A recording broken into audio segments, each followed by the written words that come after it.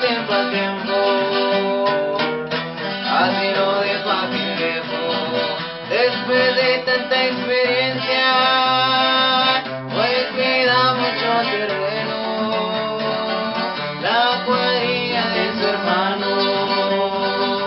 que defiende su lejano, en Chihuahua hay muchas paredes,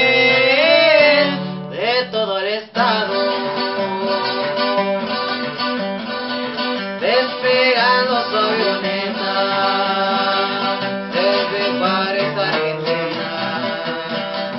transportando mercancía por América Latina.